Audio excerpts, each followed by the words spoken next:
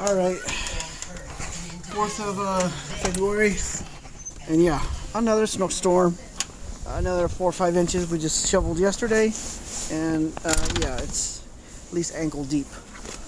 Anyway, I'm gonna head out here. We should try to, and go see if the mail came or not. Like I said, I just dug all this out yesterday, about six inches of it.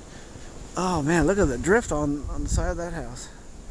Uh, anyway, most of this is all powder and wind blown. And of course, they uh, canceled school again today. Well, canceled it Monday, had it yesterday, and then canceled it again today. I'm just seeing if the if the postal service doesn't come through or not. And nope, I'll just have to watch or they might, might not even make it all the way up here today. So, anyway, uh, see. So we got 7.5 inches for the first one, and here I'm guessing at least five.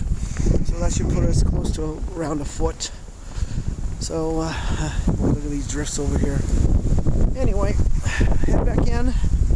Yeah, those uh, lawn lamps and everything are. One, one over here is buried. This one's almost buried here and north wind is around 20 25 mile an hour. So uh, come on spring